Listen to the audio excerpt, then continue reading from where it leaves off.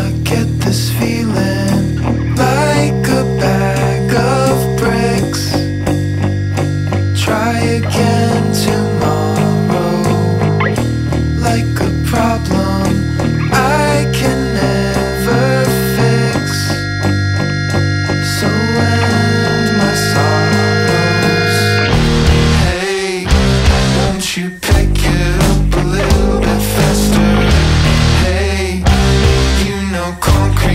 So, if you're also into personal development and you have a growth mindset, chances are you have a lot of interests and a lot of ideas. But I feel like to have a lot of interests is a very good thing, but it's also more often than not difficult to focus on a specific thing because you have too many ideas and too many interests.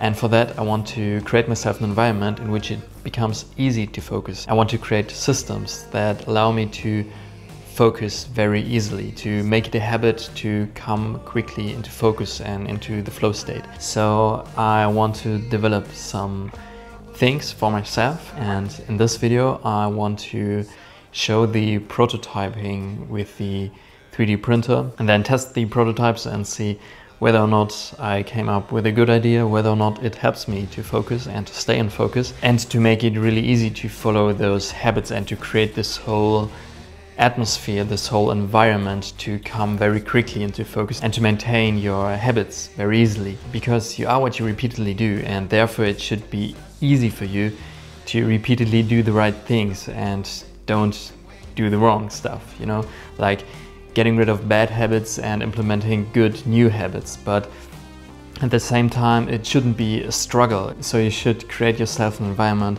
in which it becomes easy to make one step at a time in the right direction so that eventually you will achieve your goals. So I want to create myself that environment in which I can just get every day a step closer to my goal and to have focus, to have a very clear focus what I'm going to do and which things I'm going to say no to because I already know what I'm going to do. So, yeah, here we go.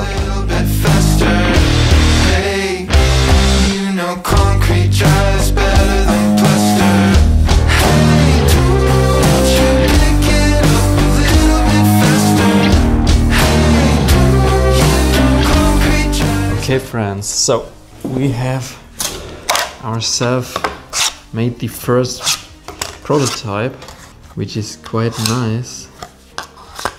And it seems to fit. It's literally the first try. Nice. I like it. Yeah, But maybe this is a bit too steep. Maybe it shouldn't be in this angle, but more in this angle. Because when it's like this, it's. I would prefer it to be a bit more angled, but I like you can just grab the cards, you can slide them out, you can look at the cards, choose your card, and then just place your card or just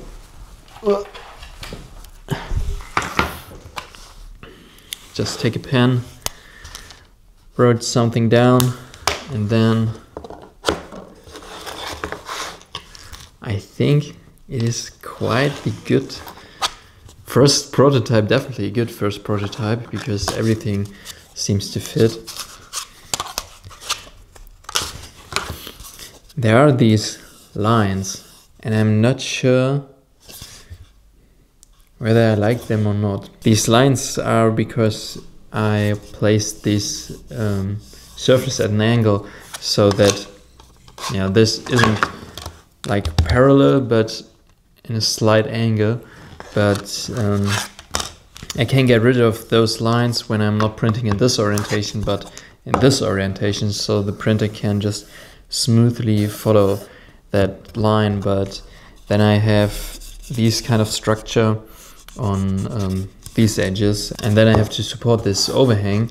But um, somehow I think they look kind of interesting because it's like everything very symmetrical and this surface then is like a bit more interesting okay but I think for the next prototype I have to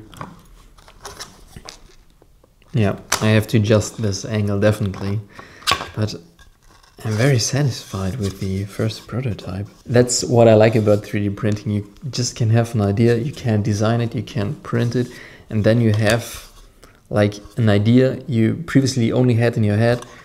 You can touch in the real world. You have like physical, a real physical product. And with all the molding stuff, you even can make like high quality physical products like concrete products just with 3D prints.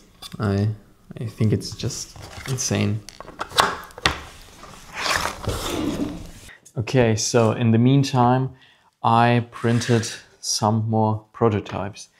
And this one right here was my V1 prototype and it was fairly simple. The design was fairly boxed and it was functional, but I didn't enjoy the look of it and the angle was a bit too steep. So when you have it in a configuration like this, just in front of you, it wasn't that enjoyable to look at all your to-dos because of the viewing angle.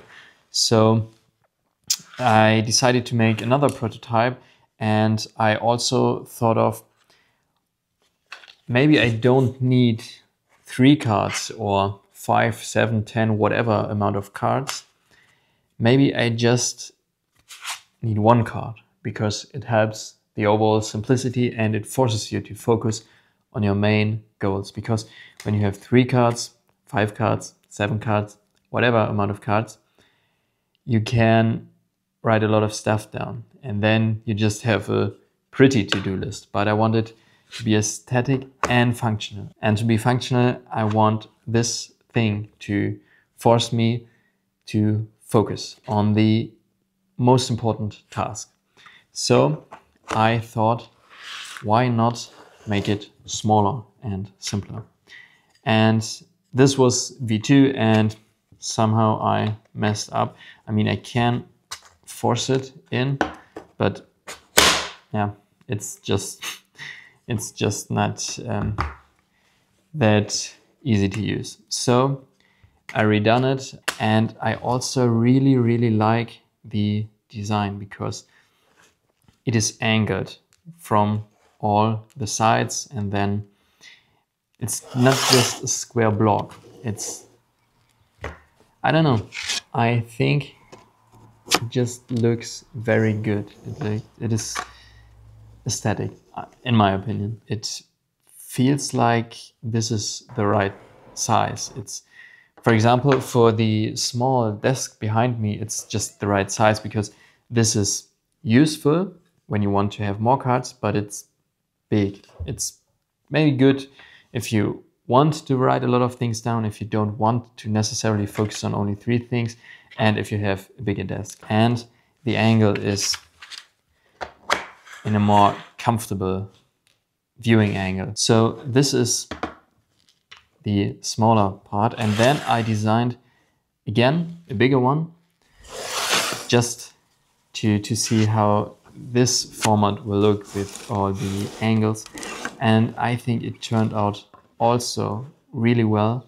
But for me, for now, I will start with this one because I want to focus and it forces me to focus because I just have so much space on one card and it's a smaller product so I can experiment with mold making and pouring concrete and um, the concrete mixtures I just can experiment with a more simple product more easily than let's say with this product just to start with so that's not to say that I won't make this product further down the road, but I will start with this product.